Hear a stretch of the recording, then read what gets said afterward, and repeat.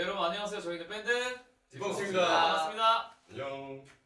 네, 저는 드럼 치는 박가은입니다. 반갑습니다. 네 안녕하세요. 저는 뒷봉스에서 노래하는 김태현입니다. 반갑습니다. 네, 저는 딥펑스에서 베이스 치는 김재희입니다. 안녕하세요. 건마치는 김현우입니다. 반갑습니다.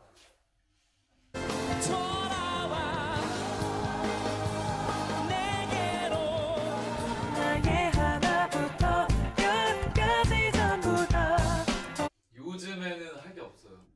요즘에는 TV 보고 네, 인터넷 하고 게임하고 그런 식으로 시간을 많이 보내고 있어요. 요즘 뮤지션들을 공연장에서 많이 뵙지 않고요. 전장에서 이제 온라인상에서 좀 많이 만나는데 같이 전우회로 지내고 있습니다.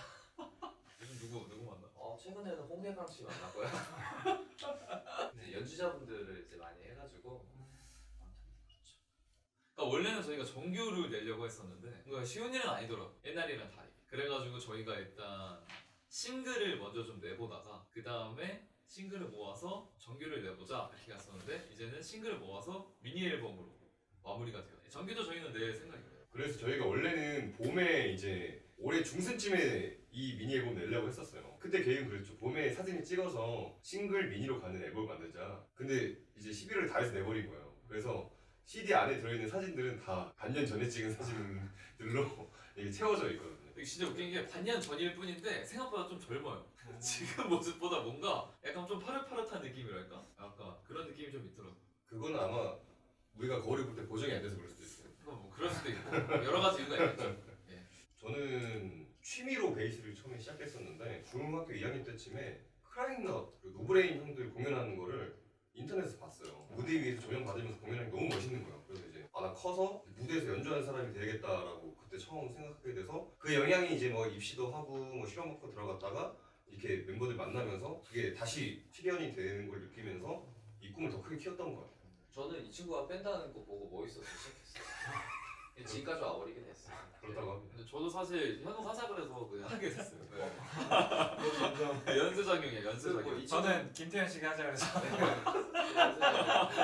야, 저희가 막 처음에 이 팀을 만들 때 그렇게 막 큰 꿈을 가지고 음. 만드는 팀은 아니고 그냥 뭐 그냥 재밌게 한번 해보자 이런 식으로 만드는데 생각보다 반응이 오면서 그렇죠. 어 이거 잠깐만 계속 해도 되겠는데 괜찮겠는데? 이러면서 좀 계속 하게 된 것 같아요 그때부터. 그러니까 심지어 저는 스무 살 때부터 다른 밴드를 하고 있었어요. 완전 하드락 밴드를 하고 있었는데 이제 이 친구가 하자 그래서 이렇게 팀이 모여서 하게 됐는데 반응이 좋으니까 그전 밴드는 그만두고 이제 이 밴드에 더 몰입을 하게 된 거죠. 너무했네요. 그 비하인드 스토리 중에서 뭐 제가 이 친구랑 같이 하자고 했는데 이 친구랑 또 같이 하자고 했어요. 이 친구랑 같이 하자고. 근데 이 친구가 하기 싫다고 이 친구랑. 그땐 그랬었죠. 네. 초반에 안 별로 들었었어요. 얼굴 별로였어요. 네. 외모가 제가 원하는 그런 외모가 아니었어요. 가- 그러니까 말을 섞을 때 뭔가 약간 살짝 부담이 되는. 아 좀 그런 거 약간 있었어요. 왜냐면 그때는 지금이랑 좀 다르고 달라, 수염도 달라. 있고 아막좀 무서웠어요 생긴 게. 음, 그래서 염색 어 내가 저 뒤에만 사람이랑 내가 저 사람이랑 팀을 할 수 있을까 어. 이런 생각을 하고. 저씨 기억나는 거예요. 제가 다른 학교거든요. 이제 학교마다 경연 같은 걸 하는 게 있는데 그때 재영 씨를 제가 봤거든요. 다른 팀에서. 근데 그 얼굴이 잊혀지지가 않더라고요.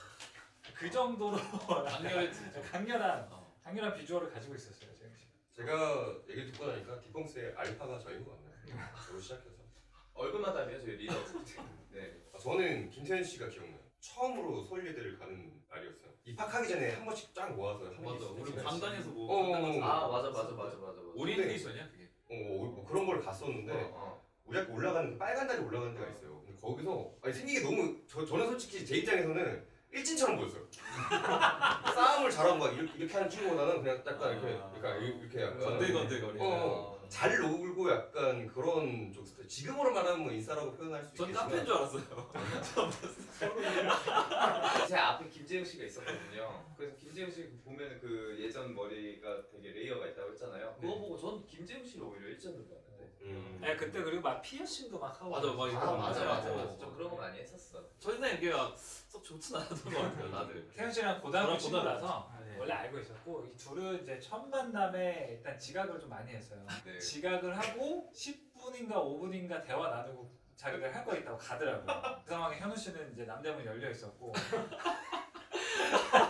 강렬한 첫인상이네. 딱 그렇게 첫인상이 딱 그렇게 박혀 있어요. 아직까지. 저는 박가람 씨의 첫인생 기억이 나질 않아요. 그날 자체가 만났던 그 상황이 그려지지가 않아요. 기억이 안 나요. 나도. 굳이. 어. 그냥 아 이 사람이구나 하고 그냥 빠빠이하고 그냥 헤어져가지고 맞아. 그러니까 정도로 저희가 결성을 할 때 네. 그렇게 중요하게 생각하지 않았다는 거예요. 네. 네. 그때 이제 회사가 있었는데 회사에서 내자 해가지고 알겠습니다 하고 이렇게 곡 모아서 냈던 기억이 있거든요. 어 근데 나는 그때 기억 생각해 보니까 난 그 앨범 낸 게 되게 조금 뭐라 해야 되지 쑥스러웠어. 그리고 누군가한테 들려주기가 좀막 되게 미숙해 보이는 거예요. 아 내가 아, 이거보단 좀 더 잘할 수 있는데 좀 그런 아쉬움에서 냈던 것 같은데 되게 생각보다 팬분들이 그 앨범들을 굉장히 좋아해 주시더라고요. 녹음할 때 이제 녹음을 평소에 해볼 일이 없으니까 앨범 녹음이라는 걸 처음 해보면서 굉장히 어려웠던 기억이 있어요. 많이 혼나기도 했었고. 지금 만약에 준비하는 과정이라면은 지금 뭐 한 달 준비할 거 그때는 한 3개월 걸렸던 것 같아요. 결과물은 사실 똑같을 수 있는데 막 여러 번 해보고 막 이랬던 게 좀 기억이 나는 것 같아요. 어 뭐 군대 가기 전에 마지막 희망이었죠. 왜냐면은 저희가 언더로만 오랫동안 활동하고 세상 밖으로 나와가지고 TV 속에 저희도 많이 알리고 싶고 그러고 싶은데 그런 환경이 또 안 되고 하다 보니까 그래도 뭔가 알릴 수 있고 그런 게 뭐가 있을까라고 찾아봤을 때는 오디션 프로밖에 없더라고요. 그때 당시에 또 많이 유행했고 밴드들도 되게 좀 잘 나갔고 모든 게 바뀌었어요. 근데 진짜 그 슈스케 이전과 이후는 그때부터 많은 분들이 알아봐주기 시작했고 그 덕으로 방송이라는 것도 진짜 많이 하게 됐고 그러니까 뭐 전부 다 바뀌었어요. 뭐 수익부터 해가지고 뭐 주위에 같이 있는 사람들과 100% 모든 게 바뀐 것 같아요. 그리고 또 어, 남들에게 보여지는 우리의 모습에 대해서 관리라는 개념이 바, 박히기 시작한 시점 아, 그. 시점부터 그런 게 생기지 않았나 요? 그때부터 신경을 쓰기 시작한 것 같아요. 남들의 시선 같은 거. 진짜. 그죠 그죠. 네. 아, 그러니까 뭐 여러 가지 마음가짐이야. 그러니까 옛날에는 그냥 쓰레기 막 솔직히 버릴 수 있잖아요. 네. 근데 지, 그때부터는 뭔가 버리기도 살짝 어 한번 생각해서 주머니에 넣게 되고. 뭐 약간 이런 거 되게 사소한 거지만 어쩔 수 없이 그렇게 되더라고요. 어느 순간부터. 그리고 하루아침에 톱스타 되고 그런 사람들처럼 그러면 행동이 바뀌잖아요. 그런 것처럼 연예인병도 자연스럽게 오기 오더라고요. 이게 어쩔 수 없이 오는 그런 것 같아요. 왜냐면 주변에서 그런 환경들을 만들어주니까 뭐가 왜냐? 된 듯이 막 돈 많이 버는 거야 이제부터. 우리 우리 이제 여기서부터 톱스타 돼가지고 어디 가면 다 인정받는 거야. 그렇게 돼버리더라고요. 착각 속에 빠지게 되더라고요. 어느 순간부터. 큰그 그림을 보면은 완전 저희가 좋고 이런 건데 또 디테일하게 보면은 그만의 또 단점도 다 있었죠. 그런 과정을 다 지나온 것 같아요. 저희. 내년에는 자격증 시험을 볼 겁니다. 어, 일본어 능력 그 자격 자격증을 꼭 취득을 해가지고 어, 그게 일단은 제 개인적인 목표고 매년 다짐하지만 영어 공부를 좀 해보려고. 가람 씨 갑자기 말씀 나와서 영어 공부가 아니라? 영화 영화 배우. 아 그- 영화 배우가 아니라 지금 저 유튜브 콘텐츠로 독립 영화를 하나 찍고 있어요. 재영 씨가 감독해서 재영 씨가 각본도 다 쓰고 연기를 하고 있는데 과거에 그 가람 씨 꿈이 저희 슈스케 나오고 나서 그 전부터였어요? 연기를 하는 게 꿈이었어요. 그걸 하다가 본인이 이제 안 맞았는지 그 포기를 어느 순간 하더라고요. 그래서 저는 이제 그게 조금 많이 아쉬워가지고 거의 강제로 연기를 지금 시키고 있는데 시킨다기보다는 제가 기획을 하고 이 친구가 이제 감독을 해가지고 이번에 뭐 이렇게 찍고 있고 이제 그렇게 하고 있고 요새 나이를 좀 먹을수록 현우 씨가 약간 A&R처럼 된 것 같아요. 약간 기획해주고 멤버들마다 왜냐면은 밴드가 한 사람만 돋보이고 그러고 막이 팀이 그러면 너무 재미가 없잖아요. 가람 씨가 예전에 비해서 내려놓은 건지 그냥 색깔이 없어진 건지 그냥 이렇게 존재감이 없어지고 있어요. 그게 너무 아쉽더라고요. 예전에는 되게 좀 되게 끼쟁이였어요. 막 이것도 하고 저것도 하고 막 이랬었는데 요즘 그냥 말수도 부쩍 없고 그러다 보니까 아 저러면 안 되겠다. 예, 그래서 그 연기라도 어떻게든 빨리 시켜서 아유, 네. 아유 고맙네요. 아 진짜로 이 정도면 거의 약간 대표님 마인드. 저희 대표님, 저희 대표님 저희 이런 말 이런 얘기 안 해요. 네. 니네 하고 싶은 거 해. 이제 이렇게 맞아. 해주시니까 맞아 맞아. 이제 제가 하고 싶은 거는 박가람 씨 연기, 그 다음에 김재현 씨는 영화 감독으로 하고, 네, 김태현 씨는 이제 기타리스트. 저는 이 시점에서 영화 감독 얘기할까 말까 하다가 안 하는 이유가 저는 하기 싫어요. 왜 이 사람이 얘기한 걸 내가 실현을 시켜야 되는지. 네. 근데, 아니, 진, 근- 근데 네. 진짜 웃긴 게 뭔지 알아요? 하기 싫은데 진짜 열심히 해요. 진짜 열심히 해요. 그러니까 그래서 저는 다 또 하기 싫어지는 거예요. 이게 막 집중하고 막 열심히 해요. 저는 지금 머릿속에 어떤 지금 그 영화 얘 영화 찍는 생각도 없어요. 내가 얘를 위해 무엇을 해야 하나 영화를 잘 만들기 위해 하기 그렇다고- 싫어진데 계속 네, 생각을 그렇다고 프로 정신 있는가? 뭐 그렇지도 않아요. 그래서 좀 힘들까봐 제가 뭐 좀 도와줄게 이러면은 그냥 다 피- 간섭을 싫어해요. 그냥 자기가 혼자 다 하려고 그러고. 사실 돈을 주면 괜찮아요. 돈을 주면 괜찮은데 뭐 입금이 되는 것도 아니고 입금이야 뭐 그냥 카톡으로도 보낼 수 있는 그 건데. 예를 들어서 그러면은 뭐 어디에 좀 이게 써가지고 필요한데 뭐 그런 거 얘기를 아니 해야 그냥 되는데 그냥 수고금 수고금 어 그런 아, 거를 좀 수고금, 줘야 페이, 페이. 아, 알았어요. 그러면 내가 오늘 그거 뭐냐 그 카카오페이로 좀 넘겨드릴게요. 책정을 좀 하셔가지고 네. 네. 음. 제가 그 뭐야 마지막 크레딧에도 네. 원래는 기획이었는데 지금 음. 기획의 사전적 단어를 찾아보니까 기획이 아니에요. 음. 기획 제안 음. 그리고 예, 제가 예. 마지막 크레딧에다가 슬러시 책임 어, 이 모든 프로젝트의 책임자 그러면. 거기에 제가 오늘 카카오페이 5천 원 넣어드릴 테니까 투자자까지 한번 넣어. 5천 원 투자로 써드릴게요. 감독이 할수 있는 권한이죠. 네. 좀 계속 변화하는 모습의 그 가진 밴드였으면 좋겠어요. 그렇게 좀 기억이 됐으면 좋겠어요.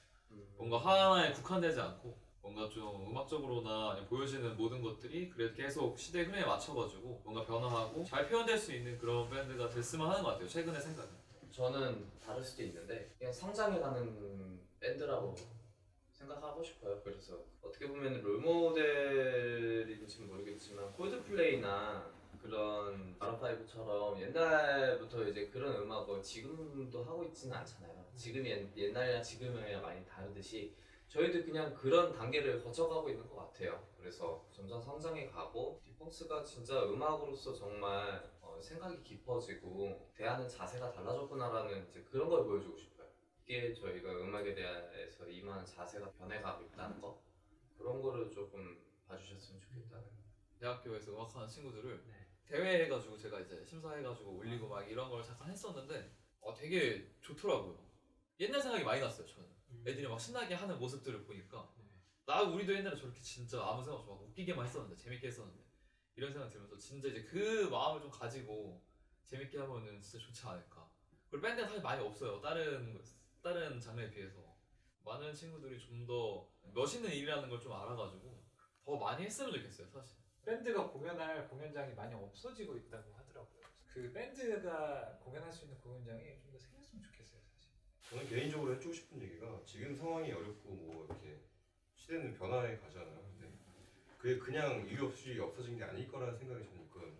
지금 코로나 시대도 그렇고 이게 어떻게 보면 자연적으로 도태되는 것도 있을 거고 그 변화에 맞춰서 하는 부류들도 또 따로 있거든요. 그러니까 다들 원론적인 것도 원론적인 거지만 또 변화에 잘 적응하면서 그 상황에 맞는 그런 방법들을 잘 찾아서 활동을 하면 좋지 않을까 이런 생각을 합니다. 제가 한 몇 년 전에 얘기했을 때는 이것저것 시도를 많이 해보고 특이한 걸 많이 뭐 남들이 안 해본 거를 많이 찾고 연구를 해라라고 하고 싶은데 저는 제일 기본적인 거로 얘기하고 싶은 게 일단은 자기 악기에 대한 애착도가 컸으면 좋겠어요. 제가 예전에는 좀 그런 애착도가 지금만큼 되게 없었거든요. 근데 애착도를 자기가 하는 그 포지션에 애착, 애착도를 많이 갖고 관심을 많이 갖게 되니까 거기서 제 자세가 달라지더라고요. 내가 이렇게 해야 되고 내가 저렇게 해야 된다 내가 저렇게 하고 이제 자기의 그 뚜렷한 그런 이제 목적이 있다 보니까 관심을 많이 갖고 애정을 많이 쏟았으면 좋겠어요. 자기 악기는 이 정도 하고 다른 악기에 뭐 더 이렇게 하는 게 아니라 뭐 수박 겉하기로 하지 말고 정말로 정밀하게 많이 연구해보고 남들한테 얘기해 줄 수 있고 좀 그런 사람이 됐으면 하는 그렇게 하면서 밴드를 하면은 더 좋지 않을까 개인적인 생각, 생각이에요. 여러분 모든 자기 자리에서 우리 모두 열심히 하면서 자리 지키면서 잘 살면서 문화생활 간간히 티펑스 음악으로 즐기시고 또 빨리 날이 좋아져서 만날 수 있는 날이 왔으면 좋겠습니다. 같이 저희도 힘내요. 열심히 하고 있을게요. 여러분도 열심히 하세요. 파이팅! 파이팅! 파이팅! 일단 더 알려야죠. 좀더 알리는 거는 그건 이제 뭐 당연한 거고 약간 짧은 플랜으로는 이 시국을 잘 버텨보자 자체가 모든 뮤지션이 지금 어, 뮤지션뿐만 아니라 다 모든 모든 사람 그러지 다 않을까요? 힘들기 때문에.